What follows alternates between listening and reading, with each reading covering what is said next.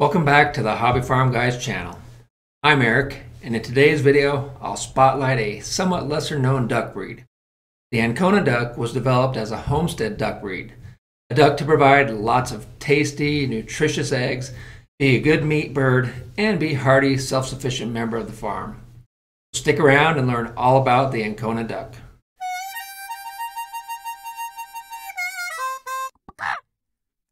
Like many of the breeds we spotlight, the exact origin of the Ancona duck breed is a little murky. Long thought to have first been bred in England during the early 20th century using similar ducks that created the magpie breed, new information points to this breed originating in the States. An article published in the 1913 edition of the Waterfowl Club of America yearbook announces that W.J. Wirt of Ridgeview Farms in Knowlesville, New York, had developed the Ancona, a new duck breed named after the Ancona fowl.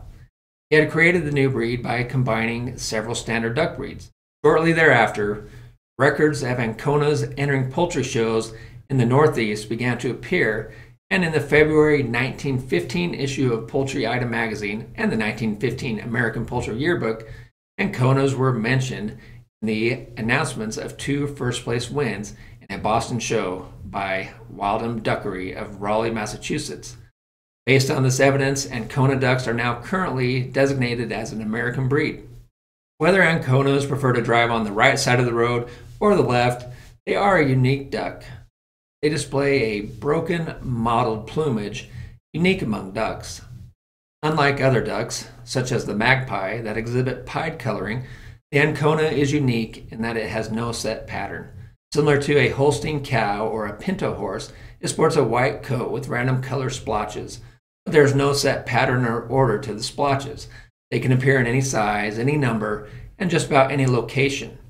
As the Ancona has not yet been admitted to the American Poultry Association, no defined standard of perfection exists, but the general rule is any combination of white and color is acceptable as long as there are obvious broken areas on the head, backs, sides, and underbody. The neck of Anconas is normally solid white. The bill is yellow with dark green or black spotting, and the legs and feet are orange with black or brown markings that increase with age. The usual color is black and white. Other color varieties are blue and white, chocolate and white, silver and white, lavender and white, and tricolored. Chocolate is a sex linked recessive trait. If a chocolate drake mates with a black duck, all female offspring will be chocolate, while all male offspring will be black. A black drake mated to a chocolate duck produces all black offspring. Only male offspring will carry the sex linked recessive chocolate gene. Weighing in around 5 to 7 pounds, the Ancona is a medium sized duck, a bit stockier than the mallard, but not as rotund as the pekin.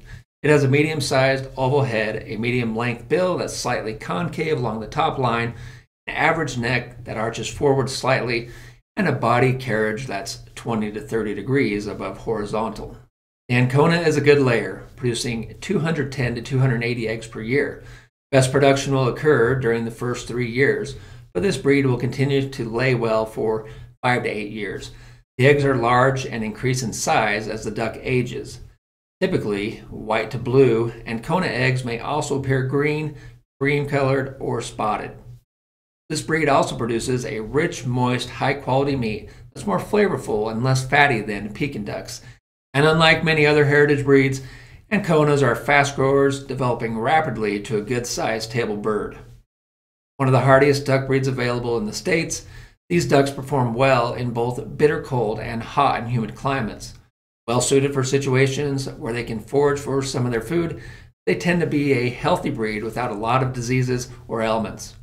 Particularly fond of banana slugs, they make excellent pond or yard ducks since they tend to stay close to home, don't normally fly, and are large enough to normally avoid predation by winged predators. Additionally, both drakes and ducks are known to be calm and relatively quiet. They tend to be less panicky when noises or other surprises occur. With their friendly, calm nature and a lifespan of around 10 years, they're also popular as pets. However, if you want to raise more pets, you'll likely need a surrogate or an incubator, as Anconas typically are not known to go broody. So there's the Ancona, an American duck that excels providing good looks, companionship, eggs, and meat to the homesteader or hobby farmer who raises them. Thanks for watching. Remember to hit that like button for us if we've earned it, and I hope you'll consider subscribing to the channel. And don't forget to click the notification bell so you get notified when we drop new videos. Until next time, keep on hobby farming.